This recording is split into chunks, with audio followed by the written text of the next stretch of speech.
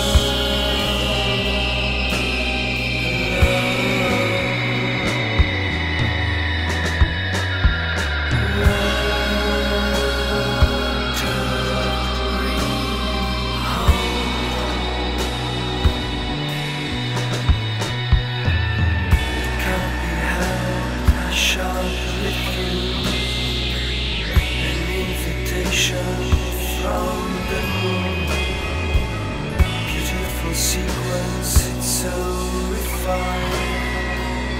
Reflections played with the mind.